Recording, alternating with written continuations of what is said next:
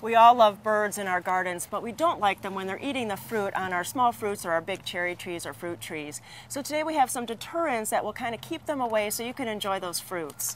One of the things that they don't like is shiny things in the garden. So this one is called Bird Repellent Kit. It's just like shiny flash tape, and this is another one here called Scare Tape.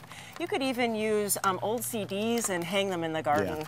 Yeah. another thing you could use is this beautiful owl. You know, predators are really scary to birds, and this one is very lifelike because the, the head even moves. it's kind of funny.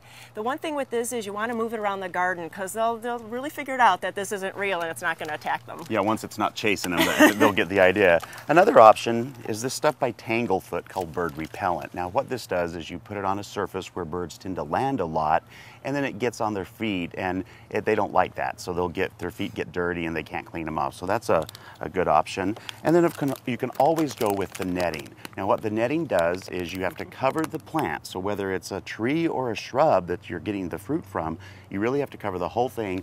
And then they don't see the tiny little black netting. They get entangled in it and that keeps them from coming back and trying to raid your plants. Well, you know, whatever thing you use, just make sure you put on early enough that you do get the harvest. It seems like the birds always know right when everything is ready. So really get out in your garden and make sure you put some of these deterrents out today.